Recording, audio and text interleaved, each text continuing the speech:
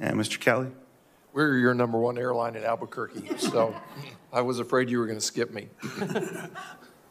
Uh, We, we have not restored our flight activity across our system, so we're not back uh, where we were. We have increasing flights coming uh, in Albuquerque uh, this month, uh, and then again in May.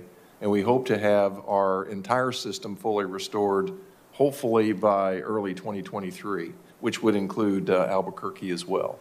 Early One route in particular. 2023. It will take us that long, absolutely. Are there other states in the same situation as New Mexico? It is across our system.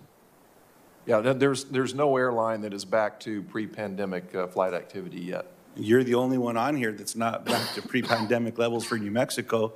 And as you said, you're one of the most important airlines that we have. You are my preferred airline, by the way, um, Mr. Kelly. Uh, When I would fly to and from our nation's capital, um, I can't do that anymore.